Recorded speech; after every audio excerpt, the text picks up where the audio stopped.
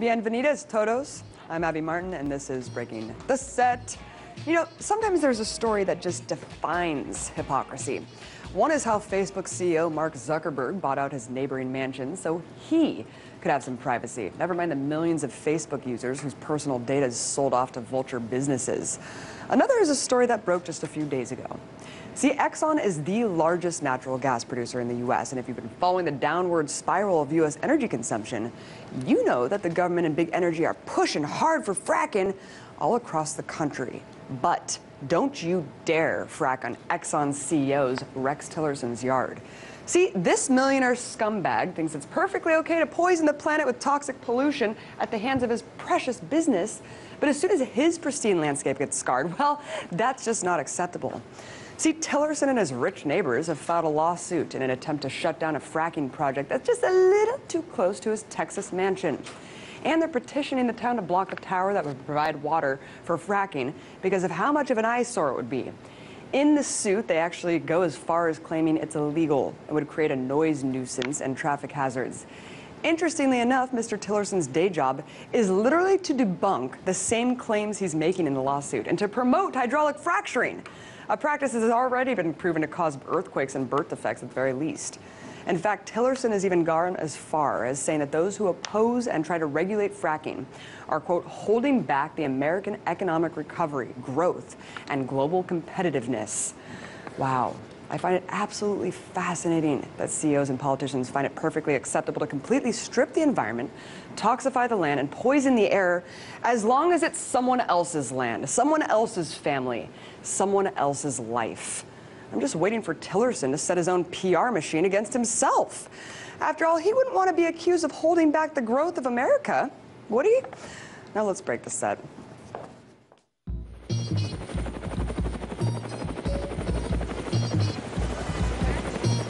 It was a terrible mistake, and we're working very hard to make up for it. And once again, we put something on the air. It's a flat-out lie. Have you ever had sex with Governor Rick Perry? No, wait. Do not answer that. I want you to watch what we're about to do because you've never seen anything like this on television.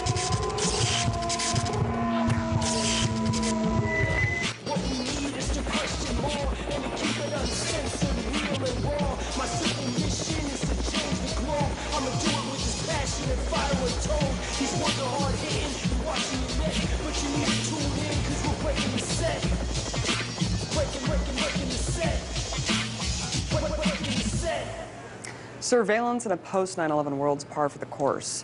But when news broke in 2012 of the New York Police Department going outside of its jurisdiction to spy on large swaths of New Jersey's Muslim community, people were a little surprised. The NYPD's violation of civil liberties by indiscriminately spying on another state's religious population seemed obvious. And in 2012, eight Muslims filed a lawsuit against the city for targeting a community for its religion. But last week, a federal judge threw out the case altogether, alleging that the surveillance was not a violation of civil liberties because it conducted to prevent terrorism, even though no acts of terrorism were actually prevented from the spying. And while there's a similar case pending in Brooklyn, this ruling could set a dangerous precedent for the future. Well, earlier I was joined by Deepa Kumar, professor at Rutgers University and author of the book Islamophobia and the Politics of Empire. I first asked her to break down why the judge justified the constitutionality of the program. If you look at the background of this case, this case was brought by the uh, Center for Constitutional Rights and Muslim advocates on behalf of New Jersey Muslims who have been being surveilled for uh, at least the last 12 years, since 2002. So mosques and schools and community centers and student groups and even grade schoolers, by the way, were surveilled. And uh, the idea behind this lawsuit was to say that this is unconstitutional and this program should be suspended. Um, but what the judge ruled was that actually no harm was done by surveillance, you know, never mind the psychological trauma that New Jersey Muslims have faced, having infiltrators, you know, in all of their institutions and so forth. Apparently no harm was done. Apparently the harm, harm that was done was by the Associated Press, which broke the story. The Associated Press did some amazing uh, investigative journalism uh, for which they won a Pulitzer Prize. uh, the judge decided that they were the ones who caused harm, not the actual surveillance. So here you have it in one fell swoop. You have not only the justification for racial and religious profiling, but an attack on the press, right? An attack on the Associated Press and the idea that the press should be watchdogs of the government. It is shocking that they would actually go as far as claiming that the harm wasn't the surveillance system itself, it was just the press of the fact that surveillance was happening. I mean, what do you think about that claim? Well, I think this is a completely specious claim. I think that it's this ruling absolutely sends the wrong message. It sends a green light not only to the NYPD to continue these practices of surveillance, but to, uh, to police agencies all over the country that they can, you know, with absolute impunity, violate the civil liberties of uh, Muslims. But I want to read uh, from the 10-page uh, document that the judge produced. This is what he said. He said quote, the police could not have monitored New Jersey for Muslim terrorist activities without monitoring the Muslim community itself. The motive for the program was not solely to discriminate against Muslims, but rather to find Muslim terrorists hiding among ordinary law abiding Muslims, which is just so deeply racist. You know, it's a form of cultural racism that says that people who practice Islam are sort of programmed to turn to uh, terrorist activities. And this is really the mindset of the NYPD. They released a document in 2007 called uh, Terrorism in the West, um, the Homegrown Threat, in which they argue that there is a four-step process of radicalization uh, in which if you're just a young Muslim man, you are already in stage one. Mm-hmm. Then you become religious, you stop smoking, drinking, and you st- turn to religion. You're on a fast track towards jihadization, right? And this is really such a simplistic and problematic notion of why people turn to violence. And frankly, this is cultural racism. Martini's a former Republican congressman, a Bush appointee. He's even been removed from a racketeering and murder case in the past for his lack of impartiality. So, considering his past, how much do you think Martini's personal politics played into the ruling? Oh, I'm sure it had a lot to do with it because uh, there are at least two uh, schools of thought, if you will. The Republican school of thought, the more conservative school of thought, tends to be very simplistic in the way it views the Muslim terrorist uh, enemy threat. Um, and I have no doubt that that played a huge role in, in this. How is the NYPD justifying spying on locations completely outside of its jurisdiction?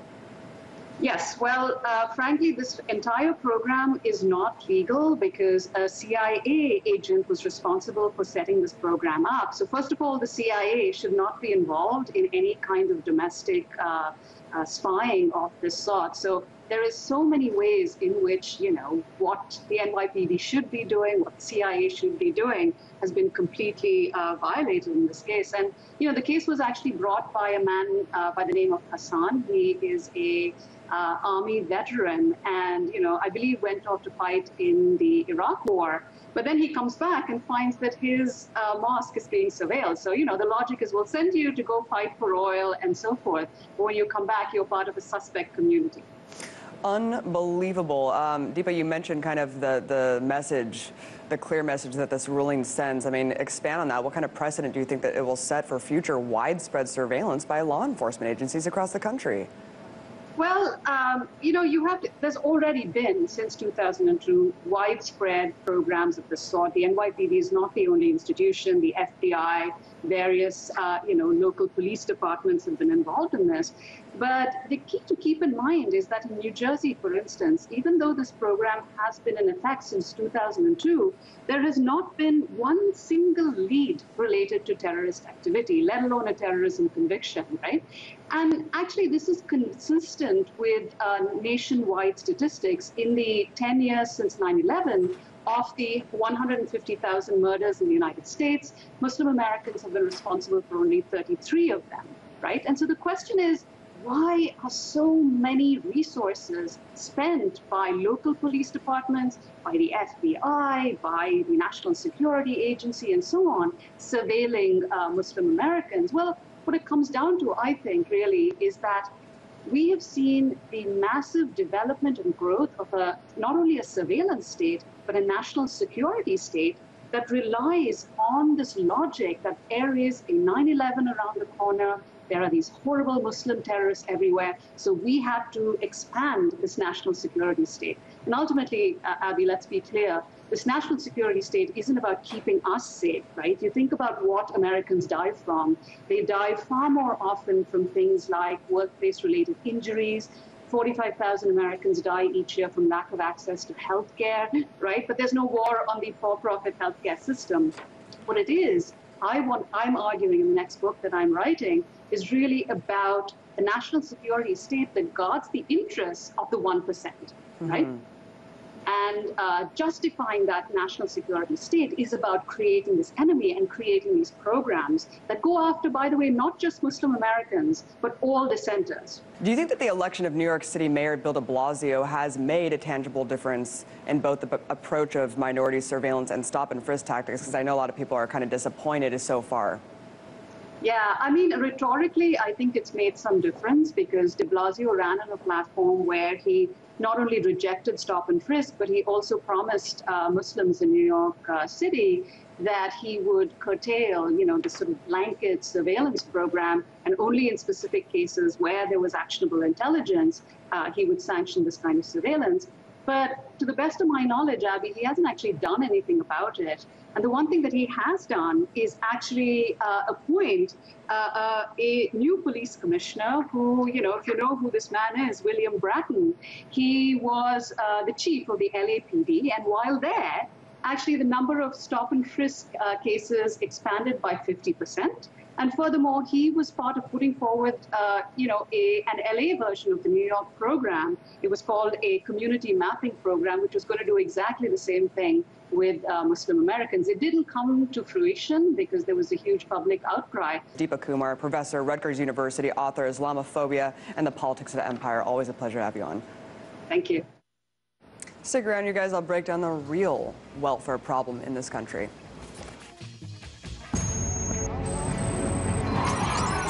Patients are force fed.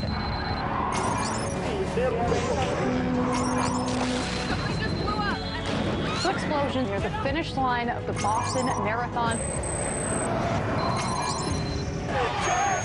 More than a thousand people have gathered. What is the latest that you're hearing about the number of victims?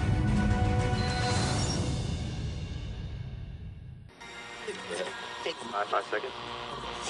And over the mic is all fueling go. Did you know the press is the only industry specifically mentioned in the Constitution? Stand by. That's because a free and open press is critical to our democracy. Track alpha. Roll alpha. In fact, the single biggest threat facing our nation today is the corporate takeover of our government and our press. Stand by camera one. We've been hijacked by a handful of powerful transnational corporations that will profit by destroying what our founding fathers once built up. I'm Thom Hartmann, and on this show, we reveal the big picture of what's actually going on in the world. We go beyond identifying the problem. We try to fix it. Rational debate and a real discussion of the critical issues facing America. Stand by on camera. Go. Ready to join the movement? Then welcome to the big picture.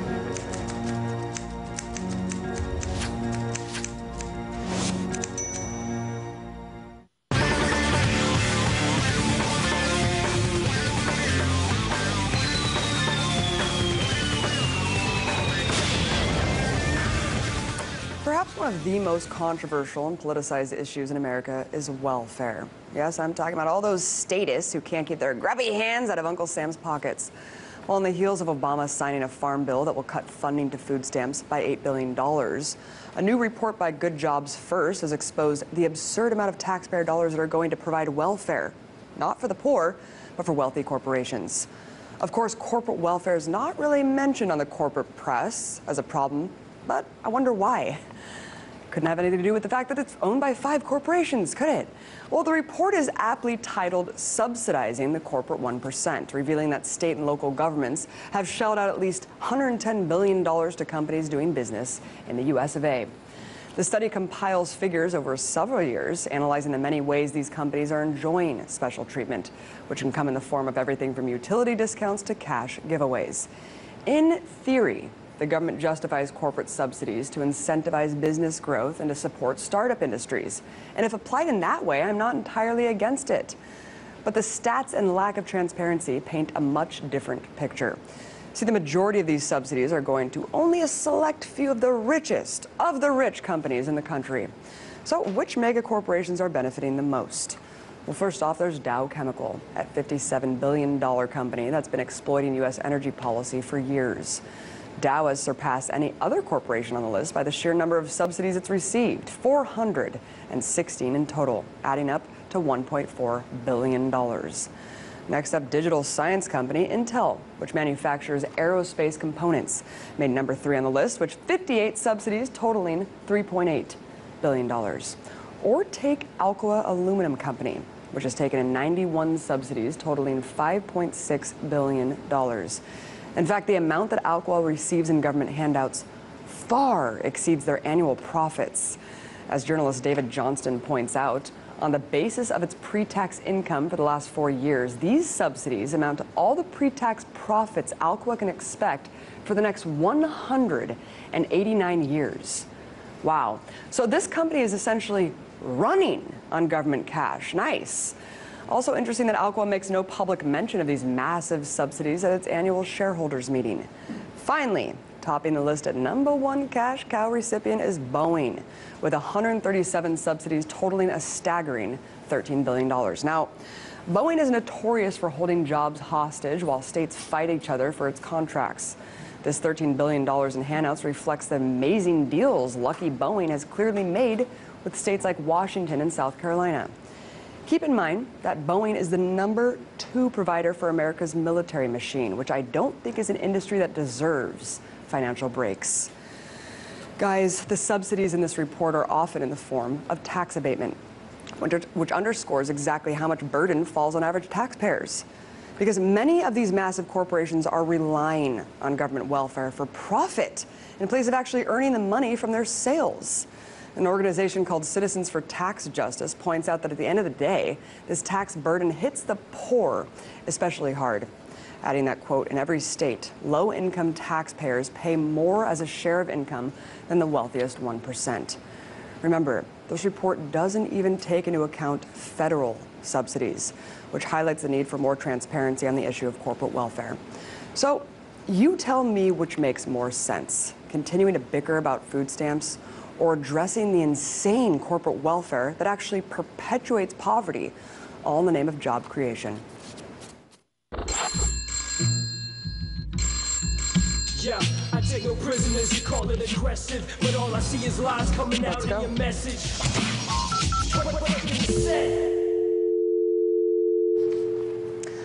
Is one of the only so-called representative democracies in the world that is utterly dominated by two parties, the Democrats and the Republicans, the left versus the right. It's all a manufactured paradigm. When in reality, both parties are more in line with each other than the majority of Americans are in line with them. What's even more frustrating is how hard it is to break through the political system as an independent or third party candidate without being completely marginalized by the media. Well, one woman is taking that chance. Her name is Marianne Williamson, and she's running as an independent for California's 33rd District. But she's also been a New York Times best-selling author in the subject of spirituality and self-improvement four different times. She joins me now to talk about her transition from self-help guru to politician. Thanks so much for coming on. Thank you so much for having me. Marianne, you're primarily known as a spiritual teacher and author, not exactly something someone, someone associates with politics. So why did you decide to jump into the political ring? Well, isn't that the problem, though, that anybody is not associated with politics? Isn't part of the problem that we have a kind of political class and politics has become a kind of spectator sport? Everybody should feel that they're part of that show. Even Eisenhower said politics should be the part-time profession of every American citizen. Very good point. I totally agree with you. It's time to take it out of the inside baseball.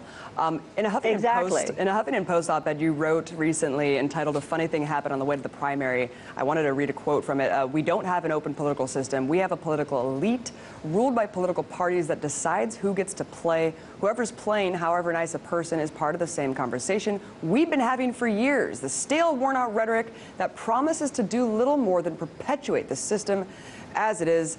I cannot agree more with that. How have you experienced this phenomenon firsthand as someone running outside of that two-party structure? Well, you know, I think more than anything else, we just have to disenthrall ourselves, as, as Lincoln would say. It's just a thought we have. You know, we have a two-party duopoly, as you're well aware, and it, it has a chokehold on the system, and it's sucking the oxygen out of our public discourse. But there's no need for it. I think Americans just need to be taught some of our own history. There's no mention of political parties in our founding documents. George Washington warned us against them in his farewell address. Abolition did not come from a major party. Suffrage did not come from a major party. The civil rights movement did not come from a major party. The parties, although they certainly have their role to play, um, but they should be here to serve us. We shouldn't be having to filter all of our thoughts through their ideologies. And, you know, JFK said we should be seeking not the Democratic answer or the Republican answer, but the right answer. Mm. And at a time today, as you mentioned yourself, when the more disturbing news is how similar they are compared to how dissimilar they are, I think it's time for some voices that just don't buy into the idea that we have to be one or the other. And you described yourself as a lifelong Democrat, yet you're running as an independent. Why did you choose to distance yourself from the party, and what do you see as the most fundamental flaw of the left-wing establishment? well, I don't think of myself as really distancing from the party. I think the party has distanced itself from me. Um, I think if you look at someone like Bernie Sanders, he, he acts in many cases more like a Democrat, as I think of a Democrat acting, than many Democrats do. And so what's happened today is the progressives have this codependent relationship with the Democratic Party. They keep getting more corporatist and in many cases more militarist, and progressives say, oh, okay, and enable them one more time. Um, one thing you have to give to the to the Tea Party, they're not in a codependent relationship with the Republican Party, and I think it's really important for progressives who are treated like the Democratic Party in too many cases, not all cases, but in too many. Like you know, we we come to you when there's an election, we ignore you till the next one. I just think many of us can't toe the line anymore. I just know that I can't. But I would caucus with Democrats. I you know, like I said, I am a Bobby Kennedy Democrat, and it's hard like Wellstone said, I'm from the Democratic wing of the Democratic Party. It's hard for me as a Democrat to find too much comfort anymore within the purview of the Democratic Party. Well, but yeah. I'm, you know, I'm open. I hope that this election, you know, one of the reasons I hope I win, Abby, is because I think it would really perhaps inspire a movement by which uh, the Democrats get their soul back. Not the people, but the party. Sure. Uh, well, I, I've heard some people say that if Nixon were running today, he'd be the most liberal Democrat out there. It's pretty shocking how far right everything has kind of shifted. Let's talk about your fundraising efforts. According to Open Secrets, you've already raised over $382,000, far surpassing your other opponents. How have you been able to do this? It's grassroots you know, part of the way Americans are locked out today, and that's why I'm running this campaign, the average American is locked out of what should be considered the minimum in terms of access to political influence, educational opportunity, and economic opportunity. And the way that works, of course, with this legalized system of bribery and corruption we have, especially since Citizens United, by which moneyed forces wield such disproportionate influence over our political system compared to the average citizen is how expensive it is to run for office. If you don't either have wealth or have access to wealth. So I looked at my 400,000 names on, on Facebook and my 200,000 on Twitter because I, I have been writing books, you know. Uh, my first book came out in 1992, so I've been out there for a while. And I thought to myself, looking at my social media um, numbers, I thought, well, if everybody sends me $5, I could do this. And my, it's a grassroots campaign. I've announced publicly I'm not taking PAC money, I'm not taking lobbyist money, and my average donation is $59. Amazing. So I, yeah, and that's how it should be. When, Sure. Sure, sure, sure. No, no, I, um, we're almost out of time. I just wanted to get to a couple more things, but that is incredible. But you're saying that you're still not being treated as a legitimate candidate even though you, you've made a lot of money um, through grassroots fundraising? I mean, what other factors are leading to your dismissal? Well, you know what the factors are, is this sort of media political elite, but it's okay. I mean, that's what I would, if I were the Democrats today, my strategy would be to ignore me and pretend that I don't exist. So, you know, I can't blame them for that. Um, I just, uh, and, and the media, you know, I think when Henry Waxman first announced his retirement, it's all horse races, and it's, oh, in the horse race, is it this Democrat or that Democrat? But, you know, part of running with any real principle is that the horse race isn't what you're doing this for. And, you know, the only, the only The only thing that matters is what the voters have to say on June 3rd, on our primary, June 3rd. So I think a lot of people are coming to understand that I would not be a threat to the Democratic Party. I don't think anybody sees Bernie Sanders as a threat to the Democratic Party. And also, uh, people are coming to understand that he doesn't lack power in the Senate. I, I, I think that people here in Los Angeles are beginning to understand that the election of an independent candidate, particularly someone running on the platform of getting the money out of politics, would really help create a space, an opening, a possibility for this kind of a candidacy and a winning candidacy throughout the country. And LA likes to do things first. You know, this, this is a, a district that doesn't really like same old, same old anything. And people are really responding to the idea that we start new conversations here. This is what we do. This is why people live in California. California, this area starts a new conversation. It's a national trend within five years. And I think that's one of the selling points of this campaign. I think it's an exciting idea that it's just not going to be perpetuating the system as it is when all of us know it's not working. Uh, indeed, California could set uh, a lot of things in motion here. Let's talk about some of the other major points of your political platform. You're on board with several bills that Representative Barbara Lee has proposed, including the moratorium on the use of drones, the repeal of the authorization for use of military force. I mean, as much as I believe in these things, these issues seem to be dead in the water on Capitol Hill. How would you get Congress to seriously consider them? Well, listen, I'm not naive about what one uh, congresswoman can do, particularly a first-term congressperson who particularly now that it's an open seat, anybody will be. So I'm not naive. I wouldn't be going to Washington with a magic wand. No one would, and no one should be able to. But on the other hand, I think conviction is a force multiplier. And particularly as an independent candidate, not feeling shackled, um, I think that my uh, hopefully the contribution of my voice both within Congress and because I have a national platform of some kind outside Congress as well to um, use whatever uh, power that I have in terms of, of audience nationally to talk about these things in a way that makes more people wake up and more people ask their congresspeople and their candidates around the country, what, what's going on with these drones? I don't think the average person even realizes, Abby, uh, the power of these things. They, will, they can know who you slept with, what you just logged onto on your computer, what room you just walked into. And they are coming. And you know, uh, the same, the same government that has had to been forced to acknowledge NSA spying tells us in relation to drones not to worry because they are going to have to adhere to all privacy laws, state, federal, and local. Americans who listen to this are guffawing. We just need to, to continue the buzz. It's like you create with your show. A lot of voices are out there now. I think something's already rumbling, and I just believe that these voices need to also be represented in electoral something, candidacies like mine. Something is definitely brewing a revolution of consciousness. Thanks for being a part of that. Marianne Williamson, congressional candidate, California's District 33. Really appreciate you coming on. Thank you. That's our show, you guys. Join me again tomorrow when I break the set all over again. Energy consumption. You know that the government and big energy are pushing hard for fracking all across the country. But don't you dare frack on Exxon CEO's Rex Tillerson's yard. See, this millionaire scumbag thinks it's perfectly okay to poison the planet with toxic pollution at the hands of his precious business. But as soon as his pristine landscape gets scarred, well, that's just not acceptable.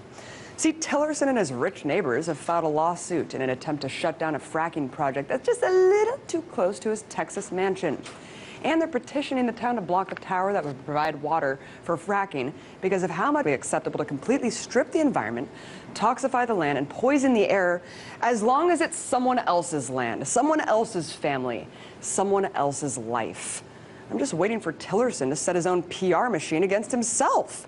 After all, he wouldn't want to be accused of holding back the growth of America, would he? Now let's break the set.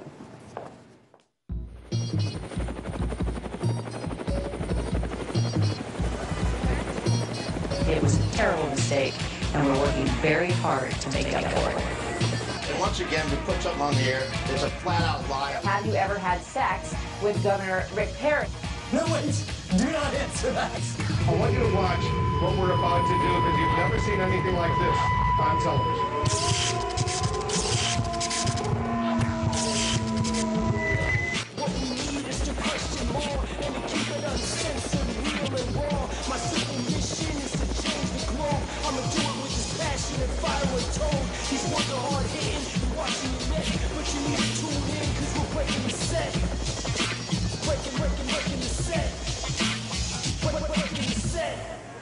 Sort of an eyesore it would be. In the suit, they actually go as far as claiming it's illegal. It would create a noise nuisance and traffic hazards. Interestingly enough, Mr. Tillerson's day job is literally to debunk the same claims he's making in the lawsuit and to promote hydraulic fracturing, Uh, a practice that has already been proven to cause earthquakes and birth defects at the very least. In fact, Tillerson has even gone as far as saying that those who oppose and try to regulate fracking are, quote, holding back the American economic recovery, growth, and global competitiveness. Wow. I find it absolutely fascinating that CEOs and politicians find it perfect.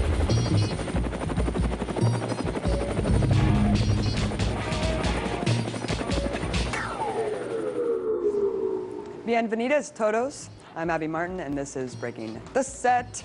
You know, sometimes there's a story that just defines hypocrisy. One is how Facebook CEO Mark Zuckerberg bought out his neighboring mansion so he could have some privacy. Never mind the millions of Facebook users whose personal data is sold off to vulture businesses. Another is a story that broke just a few days ago. See, Exxon is the largest natural gas producer in the U.S., and if you've been following the downward spiral of U.S.